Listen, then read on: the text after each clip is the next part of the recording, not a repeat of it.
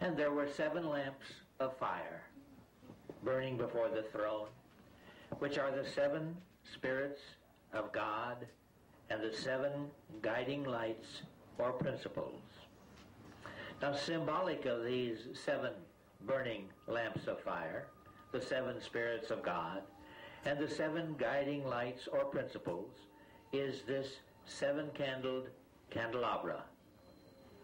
As each candle is lit, its rays radiate into the outer darkness, and so do we symbolize the attainment of knowledge and the sending forth of one into the world to radiate comfort and consolation, health and peace of soul and body, even as Jesus the Christ went forth to do the bidding of his Father. Each of these lamps or candles has its own significance. The first of the candles is duty. The Lord is Almighty God. God is infinite, and being infinite encompasses within his being the activating principle of all life, all intelligence, and all things.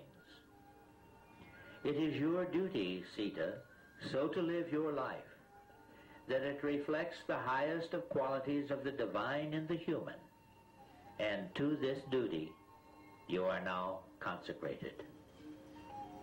The second of the candles is worship. Thou shalt worship the Lord thy God. The worship of God through prayer, meditation, the attuning of one's spirit to the soul-stirring harmonies of the spheres opens the mind and heart to high spiritual knowledge and growth. It is your responsibility, when called upon, to lead such worship, and to this responsibility you are now consecrated. The third of the candles is universe. There is a natural world and there is a spiritual world. The natural world is easily seen, and by attaining spiritual knowledge, the grace and the glory of the spiritual world is revealed. Both worlds are the manifestations of God. As a minister, it is your vocation to pursue a path that joins the two worlds for yourself and for others. And to that vocation you are now consecrated. The fourth of the candles of the flames is divine law. Divine law is holy and just and good. Eternally, divine law maintains unity and order throughout the universe. Through seeming discord is seen the hand of the master artist, blending elements, hues, subtle tones and overtones into an immense and harmonious universal design. To the best of your ability, it is your duty to reflect divine law into the human law. And to this responsibility, you are now consecrated. The next of the flames is immortality. As a spirit, we are, for a time, enrobed of the body, but death is not the end. For is it not written, and of his kingdom there shall be no end? It is your calling to teach this principle for the enlightenment of those who seek the light of eternal life. And to this calling you are now consecrated. The next of the next of the flames or guiding principles is communion. It is recorded in all holy scriptures that angels of the Lord make themselves visible to and heard by we mortal beings. The angels and our personal loved ones in higher dimensions are capable of doing this even today. This is a principle you will teach, hopefully experience, and perhaps even demonstrate. And to this activity, you are now consecrated.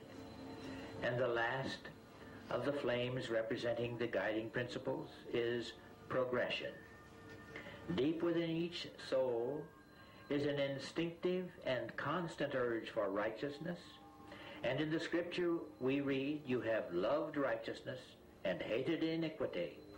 And in so turning to righteousness, do you attune yourself to divine consciousness, progressing from the barren wastes of materialism to the fertile brilliance of a living spiritual life for your own continuing spiritual progress and, when requested, for your assistance to others on the spiritual journey, you are now consecrated. Will you rise, please?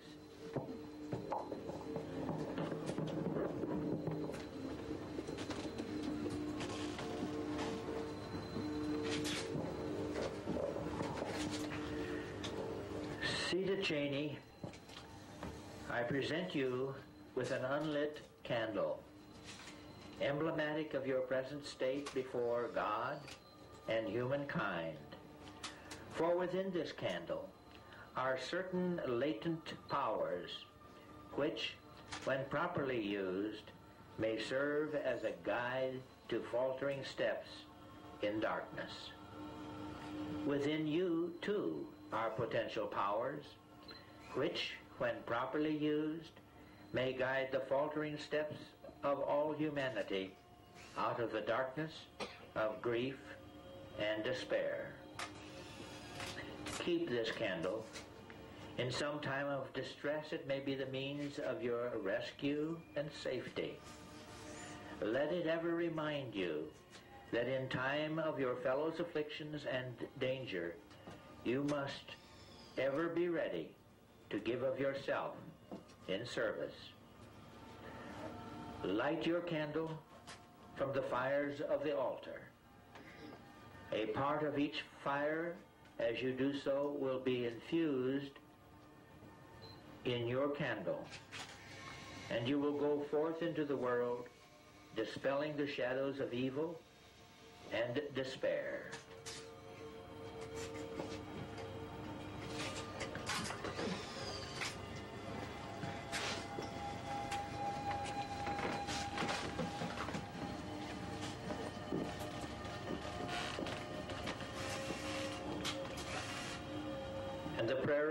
Ordination, Almighty Guide of the universe, we turn to Thee for Thy blessing in the consecration of Sita Chaney to Thy service.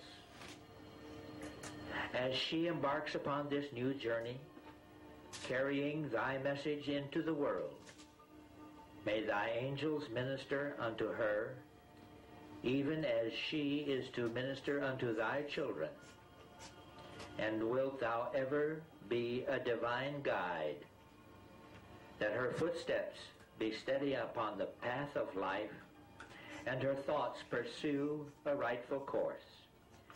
May the guideposts of spiritual attributes be seen easily by you, and may you assist others from the valley of despair to the shining heights of happiness.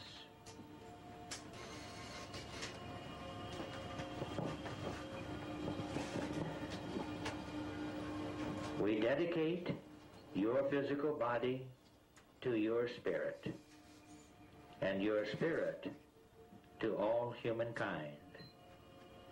Amen. Give me.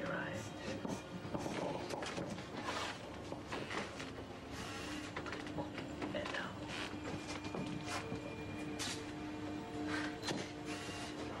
Friends, I'm delighted to present to you Reverend Sita Chaney.